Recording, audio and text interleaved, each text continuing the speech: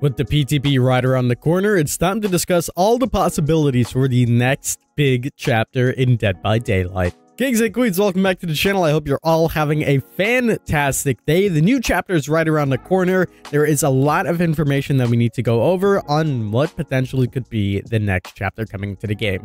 Quick little announcement before we jump on into the video and everything. I'm currently live on Twitch, twitch.tv slash king, giving away our final set of Alan Wake DLC codes. If you want to get your hands on it, make sure you guys are joining let's jump on into everything. So, first things first, let's state the facts. What do we actually know about this chapter? And then we'll work our way from there. Well, we know that this chapter is going to feature a new survivor, a new killer, and a new map. This is pretty nice. We haven't received a new map in quite a while. In our previous chapters, we've only received one said killer, so it's nice to have a full-blown chapter.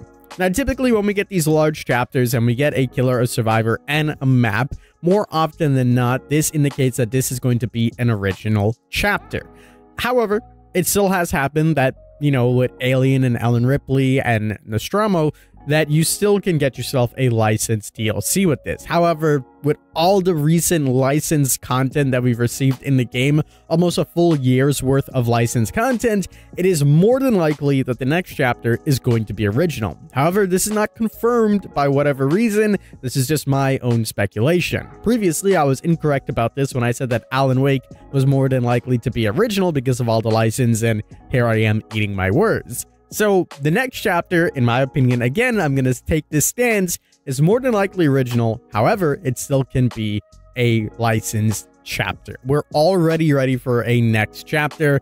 Now it's time to jump on into all this, talk about the theories, talk about the leading theories and the potentials for pretty much everything. Now, before I jump on into this, I want to let you guys know very quickly that today's video is actually sponsored. And this is my first ever campaign working with G Fuel, so I got to give a big thank you and a big shout out to them. They're actually doing a bunch of new things, and right now for Valentine's Day, they have their Deadly Attraction Shaker Cup. You guys can go ahead and get your hands on this by using my code down below for awesome discount as well. That code is KingYT. Thank you guys again for all the love and support, and a big thank you for G Fuel all right, it's time to fully talk about this chapter now and all the different speculation.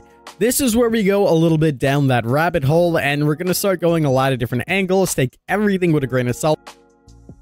And it's up to yourself to use your own intuition to determine which one of these you really believe, or if you... First and foremost, there was a YouTube comment that was, you know, left on a video about a month ago by a very random person and essentially, they claim that the next chapter was going to be Chucky. The chapter after that was going to be Alan Wake, which both of those were correct, which is kind of shocking. Uh, it could have been a lucky guess. They could have known some inside information, whatever the case may be. But they also said that the chapter after that is going to be Vecna, not from uh, Stranger Things, but from D&D. And then they said after that, we're going to get Dracula from Castlevania. So nobody really paid attention to this comment until recently when they realized, hey, this person actually got these chapters correct way in advance, so what's really going on? Now again, this, this person also left a more recent comment on another video, and essentially they said that chapter 30.5 is Alan Wake, and there's gonna be a legendary skin for Saga Anderson. Now this was over three weeks ago that they left this comment. And we know that that also became true. So either this person is extremely, extremely good at guessing what the next chapters are going to be, or they actually do have some inside information. I don't really know. I'm not going to weigh my thoughts and opinions on this one. But to continue on what they were saying, they said that Chapter 31 is an original killer. Similar to Legion, they have three humanoid slash alien. But of course, this is just a joke. I'm just assuming. So this is really interesting that, again, they got something correct. They had the Alan Wake stuff. Obviously, the Saga Anderson stuff, you could kind of maybe have made, I guess, an educated guess on that one and assume that Dead by Daylight might bring this skin into the game. And again, they've hit it right on the nose. Again, I'm not here whether to weigh if they know or they don't know any information. Take it the way you will.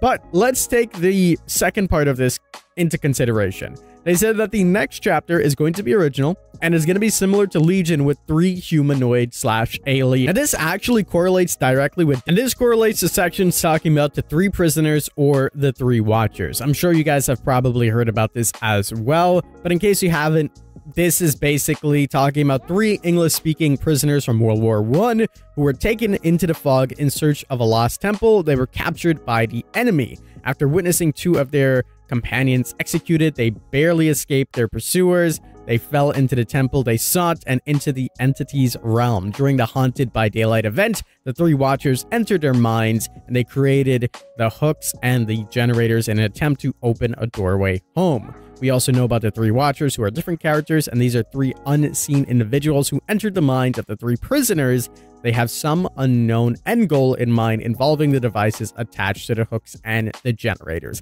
So that essentially was the lore for the Haunted by Daylight event. However, it still correlates to everything that we're kind of talking about now. And this wouldn't necessarily be the first time that Dead by Daylight took something that was already incorporated in their lore and people kind of knew about and brought it in as a chapter. Examples of the Blight and Hattie come to mind.